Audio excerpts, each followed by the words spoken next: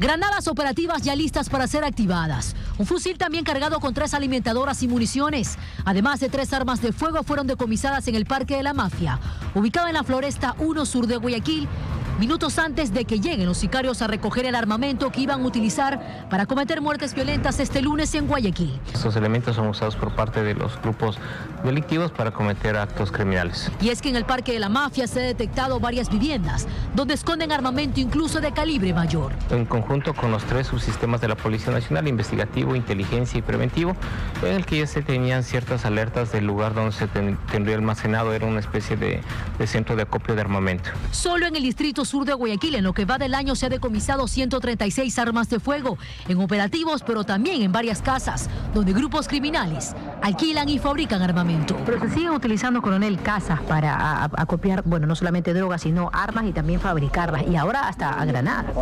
Eh, bueno, en realidad hay que tomar en consideración que la descomposición social que puede presentarse en ciertos sectores de Guayaquil eh, se ve eh, como un elemento de acopio, centros de acopio, lugares de, receptación de, inclusive de cosas robadas.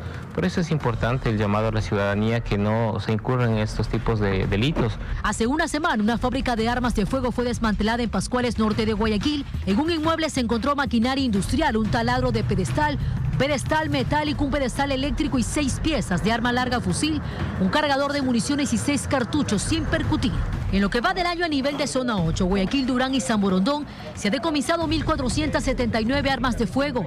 De estas, 1.225 armas cortas y 254 armas largas como fusiles y subametralladoras las más utilizadas hoy en día por los criminales.